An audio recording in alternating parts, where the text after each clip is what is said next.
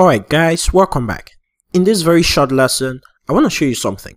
If you check out the storage app public post folder, you can see that we have images in that folder, but in our application, we've deleted our posts. So what we want to do is make sure we clean up after ourselves when we delete a post, which means whenever a post is permanently deleted, we also delete the images for those posts. Okay, so let me just delete this post folder so we start afresh. Okay, then I'm gonna come right here and create a new post. Upload an image for this post. And the post has been created. You can see the image right here. So if we check out the post folder, you can see we have the image right there.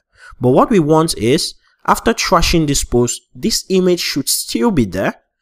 But if we permanently delete this post, then the image should go away. So we're going to come to our post controller.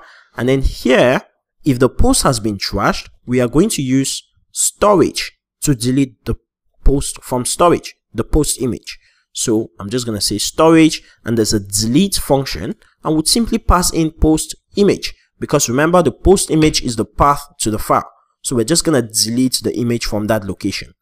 So notice that I used storage right here. So my code editor automatically uses it at the top for me. So you want to make sure you use it correctly. So illuminate support facades storage. And if you want to know the path to all of these, make sure you check out the storage part of the Laravel documentation and it's going to give you the path to all of these classes. Awesome. So storage, delete, post image. So now let's check out our storage folder.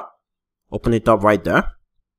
And we are just going to come to our browser, click on delete, post deleted successfully. And if you check our storage folder, it's empty. If you check the public storage post, uh, it's also supposed to be empty. Probably my code editor has cached it because remember it's a linked folder. Whatever happens to this one also automatically happens to this one. So yeah, if I stop my editor and start it again, then this is most or it's gonna be empty. Okay. So what our focus is right here. So you can see the post is empty. It's been deleted.